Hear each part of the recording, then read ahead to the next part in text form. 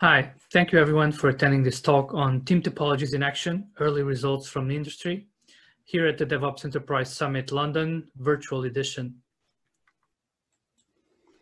Hi, I'm Matthew Skelton. I'm one of the co-authors of the book Team Topologies, and I'm the founder at Conflux. And I'm Manuel Pais. I'm an independent consultant and trainer. I'm also co-author of the book Team Topologies. So the book came out in September 2019 by IT Revolution Press.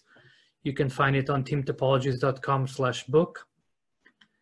Some of the praise we've received around the book talks about a kind of new digital operating model. And we think the book helps address some problems that we hear about often. So some of the questions we hear are why is our transformation not achieving the kind of fast flow that we were expecting? Or other questions that come up frequently is, you know, what's our purpose as a team and what's our mission within the wider organization?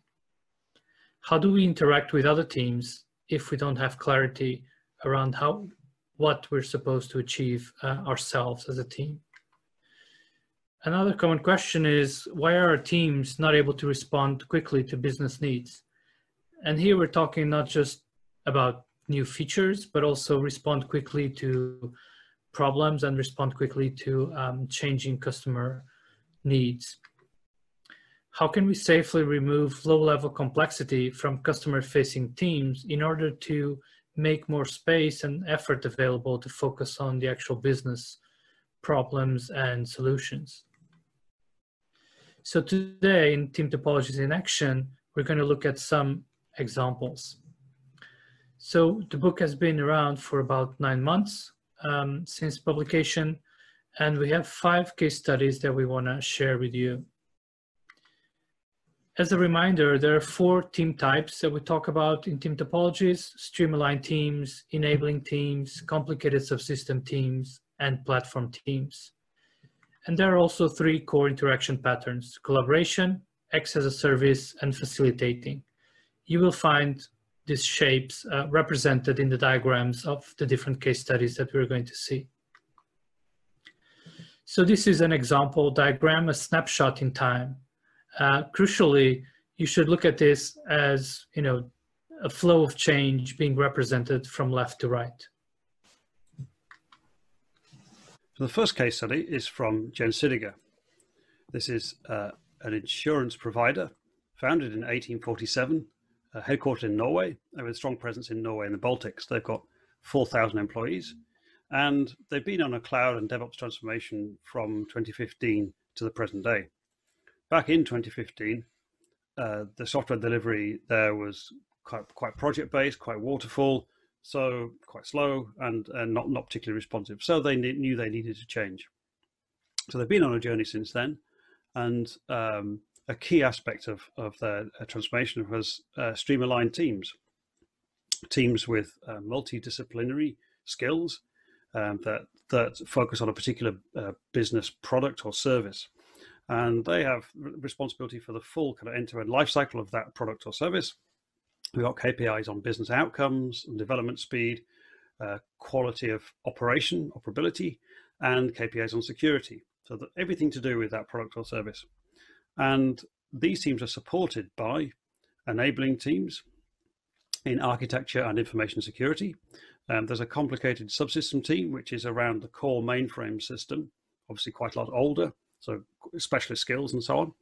And then platform teams, multiple platforms, in fact, um, CRM, infrastructure, application, and analytics, and also a design platform.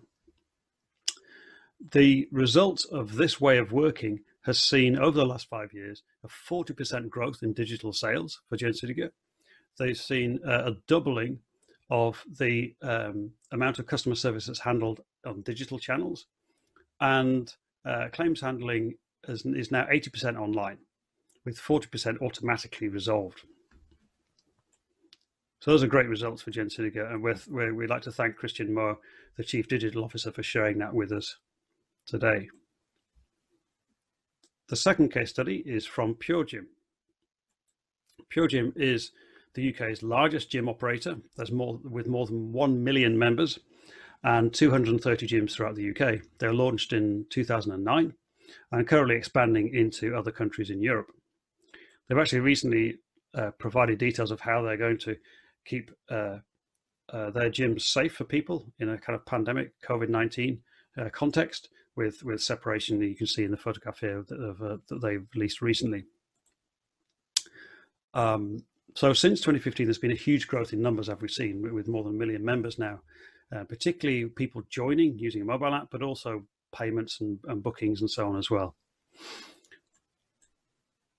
The diagrams in this in this case study come directly from from PureGym, so this is exactly how they see it. So back in 2015, there's kind of less than 10 people, pretty straightforward way of uh, building software and so on.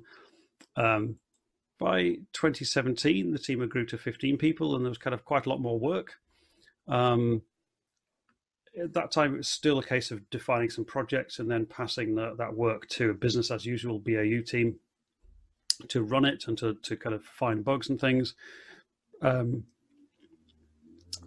and then by 2019, the team had grown to 40 people.